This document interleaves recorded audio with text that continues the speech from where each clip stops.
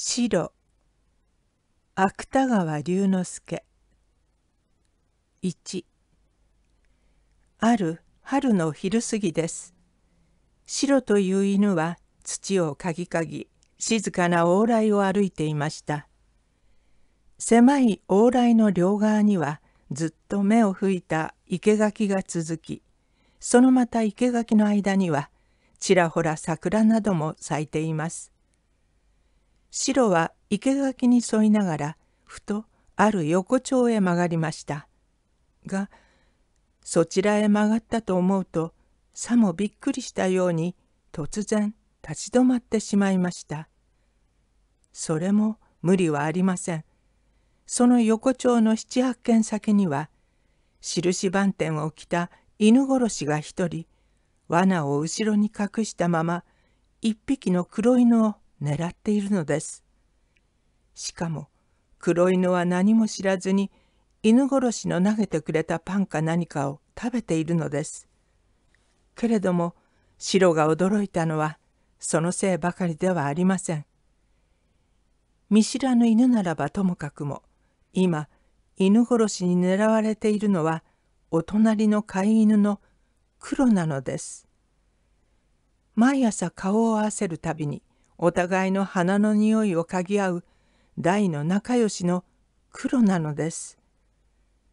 白は思わず大声に「黒くん危ない!」と叫ぼうとしました。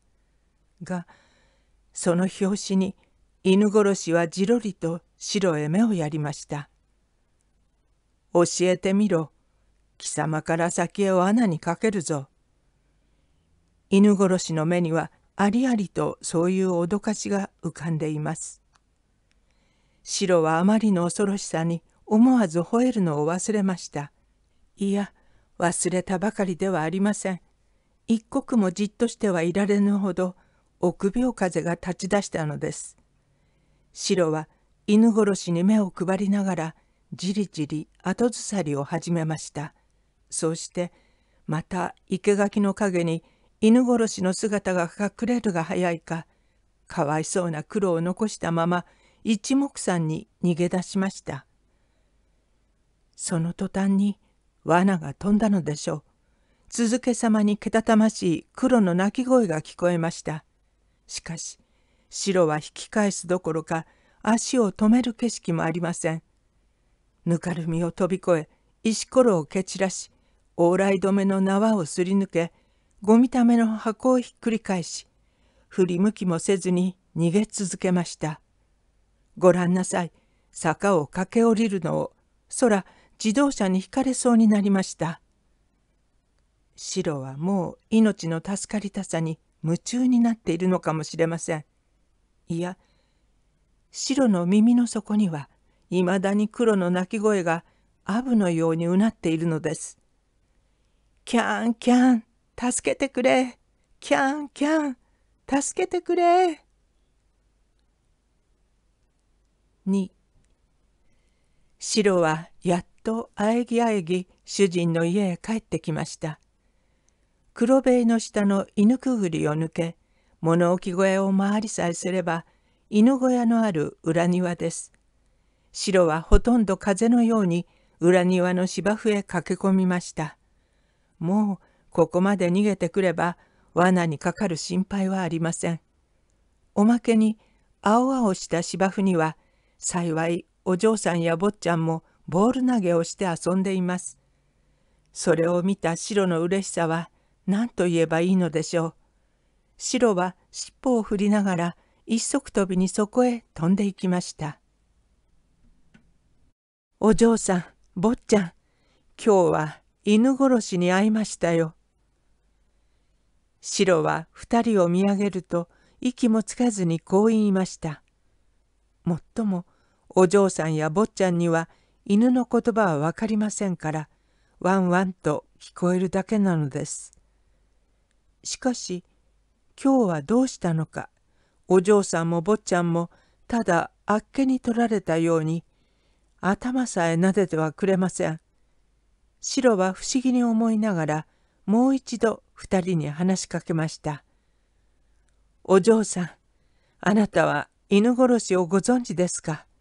それは恐ろしいやつですよ。坊ちゃん、私は助かりましたが、お隣の黒くんは捕まりましたぜ。それでもお嬢さんや坊ちゃんは顔を見合わせているばかりです。おまけに二人はしばらくするとこんな妙なことさえ言い出すのです。どこの犬でしょう、春雄さん。どこの犬だろう、姉さん。どこの犬？今度は白の方があっけに取られました。白にはお嬢さんや坊ちゃんの言葉もちゃんと聞き分けることができるのです。我々は犬の言葉がわからないものですから犬もやはり我々の言葉はわからないように考えていますが実際はそうではありません。犬が芸を覚えるのは我々の言葉がわかるからです。しかし我々は犬の言葉を聞き分けることができませんから闇の中を見通すことだのかすかな匂いを嗅ぎ当てることだの犬の教えてくれる芸は一つも覚えることができません。どこの犬とはどうしたのです？私ですよ。白ですよ。けれどもお嬢さんは相変わらず気味悪そうに白を眺めています。お隣の黒の兄弟かしら？黒の兄弟かもしれないね。坊ちゃんもバットをおもちゃにしながら感慨深そうに答えました。こいつも体中真っ黒だから。白は急に背中の毛が逆立つように感じました。真っ黒そんなはずはありません。白はまだ子犬の時から牛乳のように白かったのですから。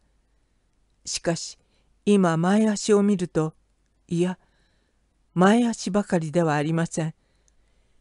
胸も腹も後足もすらりと上品に伸びた尻尾もみんな鍋底のように真っ黒なのです。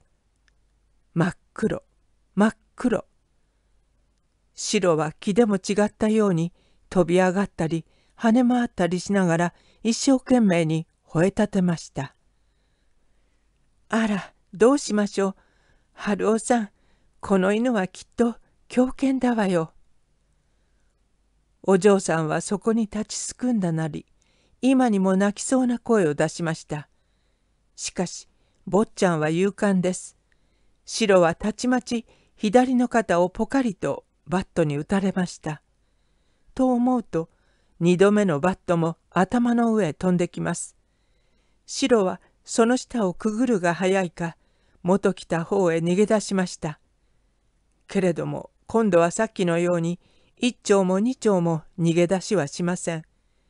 芝生の外れには白の木の陰にクリーム色に塗った犬小屋があります。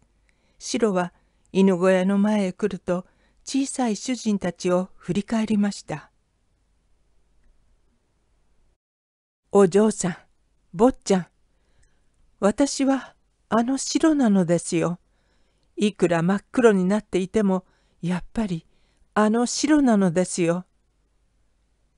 白の声は何とも言われぬ悲しさと怒りとに震えていました。けれどもお嬢さんや坊ちゃんにはそういう白の心持ちも飲み込めるはずはありません。現にお嬢さんは憎らしそうに「まだあそこに吠えているわ。本当にずうずうしい野良犬ね、などと地団打を踏んでいるのです。坊ちゃんも、坊ちゃんは小道の砂利を拾うと力いっぱい城へ投げつけました。畜生、まだぐずぐずしているな。これでもか、これでもか。砂利は続けさまに飛んできました。中には白の耳の付け根へ血のにじむくらい当たったのもあります。白はとうとう尻尾を巻き黒塀の外へ抜け出しました。黒塀の外には春の日の光に銀の粉を浴びたモンシロチョウが一羽気楽そうにひらひら飛んでいます。ああ今日から宿なし犬になるのか。白はため息を漏らしたまましばらくはただ電柱の下にぼんやり空を眺めていました。3お嬢さんや坊ちゃんに追い出された白は東京中をうろうろ歩きました。しかしどこへどうしても忘れることのできないのは真っ黒になった姿のことです。白は客の顔を映している理髪店の鏡を恐れました。雨上がりの空を映している往来の水たまりを恐れました。往来の若葉を映している飾り窓のガラスを恐れました。いや、カフェのテーブルに黒ビールをたたえているコップさえ。けれども、それが何になりましょう。あの自動車をご覧なさい。ええ、あの公園の外に止まった大きい黒塗りの自動車です。漆を光らせた自動車の車体は今こちらへ歩いてくる白の姿を映しました。はっきりと鏡のように。白の姿を映すものはあの客待ちの自動車のように至るところにあるわけなのです。もしあれを見たとすればどんなに白は恐れるでしょう。それ、白の顔をご覧なさい。白は苦しそうにうなったと思うとたちまち公園の中へ駆け込みました。公園の中には鈴懸の若葉にかすかな風が渡っています。白は頭を垂れたなり木々の間を歩いていきました。ここには幸い池のほかには姿を映すものも見当たりません。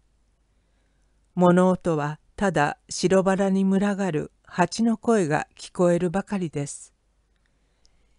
白は平和な公園の空気にしばらくは醜い黒犬になった日頃の悲しさも忘れていました。しかしそういう幸福さえ5分と続いたかどうか分かりません。白はただ夢のようにベンチの並んでいる道端へ出ました。するとその道の曲がり角の向こうにけたたましい犬の声が起こったのです。キャンキャン、助けてくれ。キャンキャン、助けてくれ。白は思わず身震いをしました。この声は白の心の中へあの恐ろしい黒の最後をもう一度はっきり浮かばせたのです。白は目をつぶったまま元来た方へ逃げ出そうとしました。けれどもそれは言葉通りほんの一瞬の間のことです。白はすさまじいうなり声を漏らすときりりとまた振り返りました。キャンキャン助けてくれキャンキャン助けてくれこの声はまた白の耳にはこういう言葉にも聞こえるのです。キャンキャン臆病者になるな。キャン臆病者になるな。白は頭を低めるが早いか、声のする方へ駆け出しました。けれども、そこへ来てみると、白の目の前へ現れたのは犬殺しなどではありません。ただ、学校の帰りらしい、洋服を着た子供が二三人、首の周りへ縄をつけた茶色の子犬を引きずりながら、何かワイワイ騒いでいるのです。子犬は一生懸命に引きずられまいともがきもがき、助けてくれと繰り返していました。しかし子供たちはそんな声に耳を貸す景色もありません。ただ笑ったり怒鳴ったり、あるいはまた子犬の腹を靴で蹴ったりするばかりです。白は少しもためらわずに子供たちをめがけて吠えかかりました。不意を打たれた子供たちは驚いたの驚かないのではありません。また実際白の様子は火のように燃えた目の色といい刃物のようにむき出した牙の列といい今にも噛みつくかと思うくらい恐ろしい剣幕を見せているのです。子供たちは四方へ逃げ散りました。中にはあまり狼狽した弾みに道端の花壇へ飛び込んだのもあります。白は二三軒追いかけた後、くるりと子犬を振り返ると、叱るようにこう声をかけました。さあ、俺と一緒に来い。お前の家まで送ってやるから。白は元来た木々の間へまっしぐらにまた駆け込みました。茶色の子犬も嬉しそうにベンチをくぐりバラを蹴散らし白に負けまいと走ってきます。まだ首にぶら下がった長い縄を引きずりながら。二三時間経った後白は貧しいカフェの前に茶色の子犬と佇んでいました。昼も薄暗いカフェの中にはもう赤々と電灯が灯り音のかすれた蓄音機は何は節か何かやっているようです。子犬は得意そうに尾を振りながらこう白へ話しかけました。僕はここに住んでいるのです。この大正軒というカフェの中に。おじさんはどこに住んでいるのです？おじさんかい？おじさんはずっと遠い町にいる。シロは寂しそうにため息をしました。じゃあもうおじさんは家へ帰ろう。まあお待ちなさい。おじさんのご主人はやかましいのですか？ご主人？なぜまたそんなことを尋ねるのだい？もしご主人がやかましくなければ、今夜はここに泊まっていってください。それから僕のお母さんにも命拾いのお礼を言わせてください。僕の家には牛乳だの、カレーライスだの、ビフテキだの、いろいろなごちそうがあるのです。ありがとう、ありがとう。だが、おじさんは用があるから、ごちそうになるのはこの次にしよう。じゃお前のお母さんによろしく。シロはちょいと空を見てから静かに敷石の上を歩き出しました。空にはカフェの屋根の外れに三日月もそろそろ光り出しています。おじさん、おじさん、おじさんといえば、子犬は悲しそうに鼻を鳴らしました。じゃあ、名前だけ聞かしてください。僕の名前はナポレオンというのです。ナポちゃんだの、ナポコーだのとも言われますけれども、おじさんの名前は何というのですおじさんの名前は白というのだよ。白ですか？白というのは不思議ですね。おじさんはどこも黒いじゃありませんか。白は胸がいっぱいになりました。それでも白というのだよ。じゃあ白のおじさんと言いましょう。白のおじさん、ぜひまた近いうちに一度来てください。じゃあ、ナポコ、さよなら。ごきげんよう、白のおじさん。さようなら、さようなら。4その後の城はどうなったか。それはいちいち話さずともいろいろの新聞に伝えられています。大方どなたもご存知でしょう。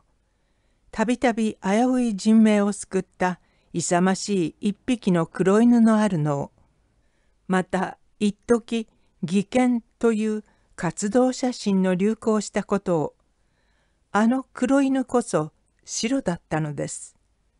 しかしまだ不幸にもご存知のない方があればどうか下に引用した新聞の記事を読んでください。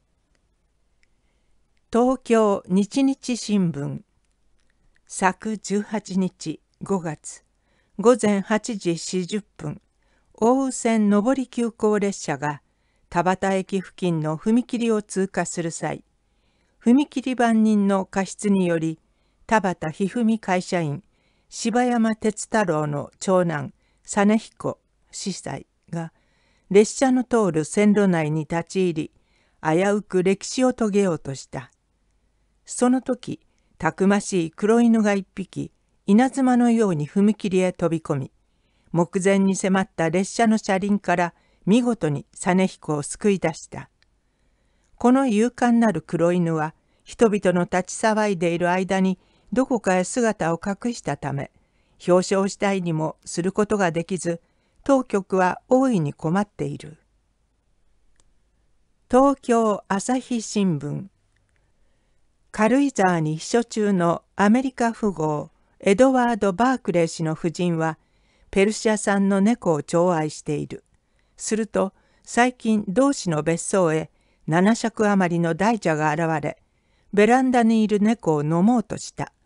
そこへ見慣れぬ黒犬が一匹突然猫を救いに駆けつけ20分にわたる奮闘の後とうとうその大蛇を噛み殺した。しかしこのけなげな犬はどこかへ姿を隠したため夫人は5,000ドルの賞金をかけ犬の行方を求めている。国民新聞日本アルプス横断中一時行方不明になった第一高等学校の生徒3名は7日8月上高地の温泉へ着した。一行は穂高山と槍ヶ岳との間に道を失いかつ果実の暴風雨に天と糧食等を奪われたためほとんど死を覚悟していた。しかるにどこからか黒犬が一匹一行のさまよっていた渓谷に現れあたかも案内をするように先へ立って歩き出した一行はこの犬の後に従い一日余り歩いた後やっと上高地へ着することができたしかし犬は目の下に温泉宿の屋根が見えると一声うれしそうに吠えたきりもう一度元来た熊笹の中へ姿を隠してしまったという。一行は皆この犬が来たのは神明の加護だと信じている。時事新報13日9月名古屋市の大火は消費者14名に及んだが横関名古屋市長なども愛知を失おうとした一人である。霊則竹則3歳はいかなる家族の手落ちからか猛火の中の2階に残されすでに怪人となろうとしたところを一匹の黒犬のために加え出された。市長は今後名古屋市に限り野犬撲殺を禁ずると言っている。読売新聞。小田原町城内公園に連日の人気を集めていた宮城巡回動物園のシベリア産大狼は25日10月午後2時ごろ突然頑丈な檻を破り木戸番2名を負傷させた後箱根方面へ一掃した。小田原署はそのために非常動員を行い全町にわたる警戒線を敷いた。すると午後4時半ごろ右の狼は十字町に現れ一匹の黒犬と噛み合いを始めた。黒犬は悪戦すこぶる務め、ついに敵を噛み伏せるに至った。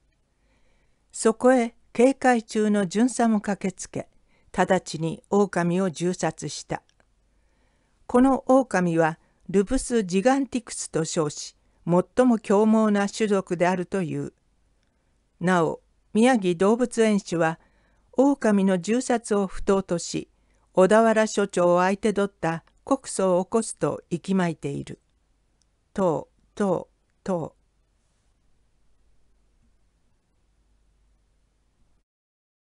う。5ある秋の真夜中です。体も心も疲れきったシロは主人の家へ帰ってきました。もちろんお嬢さんや坊ちゃんはとうに床へ入っています。いや今は誰一人起きているものもありますまい。ひっそりした裏庭の芝生の上にもただ高い白の木の梢に白い月が一輪浮かんでいるだけです。白は昔の犬小屋の前に梅雨に濡れた体を休めました。それから寂しい月を相手にこういう独り言を始めました。お月様、お月様、私は黒くんを見殺しにしました。私の体の真っ黒になったのも大方そのせいかと思っています。しかし私はお嬢さんや坊ちゃんにお別れ申してからあらゆる危険と戦ってきました。それは一つには何かの拍子にすすよりも黒い体を見ると臆病を恥じる気が起こったからです。けれどもしまいには黒いのが嫌さにこの黒い私を殺したさにあるいは火の中へ飛び込んだりあるいはまた狼と戦ったりしました。が不思議にも私の命はどんな強敵にも奪われません。死も私の顔を見るとどこかへ逃げ去ってしまうのです。私はとうとう苦しさのあまり自殺しようと決心しましたただ自殺をするにつけてもただ一目会いたいのは可愛がってくだすったご主人です。もちろんお嬢さんや坊ちゃんは明日にも私の姿を見るときっとまた野良犬と思うでしょう。ことによれば坊ちゃんのバットに撃ち殺されてしまうかもしれません。しかしそれでも本望です。お月様お月様私はご主人の顔を見るほかに何も願うことはありません。そのため今夜ははるばるともう一度ここへ帰ってきました。どうか夜の明け次第お嬢さんや坊ちゃんに会わしてください。白は独り言を言い終わると芝生に顎を差し伸べたなりいつかぐっすり寝入ってしまいました。驚いたわね、春雄さん。どうしたんだろう、姉さん。白は小さい主人の声にはっきりと目を開きました。見れば、お嬢さんや坊ちゃんは犬小屋の前に佇んだまま不思議そうに顔を見合わせています。白は一度上げた目をまた芝生の上へ伏せてしまいました。お嬢さんや坊ちゃんは白が真っ黒に変わった時にもやはり今のように驚いたものです。あの時の悲しさを考えると白は今では帰ってきたことを後悔する気さえ起こりました。するとその途端です。坊ちゃんは突然飛び上がると大声にこう叫びました。お父さん、お母さん、白がまた帰ってきましたよ。白が？白は思わず飛び起きました。すると逃げるとでも思ったのでしょう。お嬢さんは両手を伸ばしながらしっかり白の首を押さえました。同時に白はお嬢さんの目へじっと彼の目を映しました。お嬢さんの目には黒い瞳にありありと犬小屋が映っています。高い白の木の陰になったクリーム色の犬小屋が。そんなことは当然に違いありません。しかし、その犬小屋の前には、米粒ほどの小ささに白い犬が一匹座っているのです。清らかにほっそりと。白はただ甲骨とこの犬の姿に見入りました。あら、白は泣いているわよ。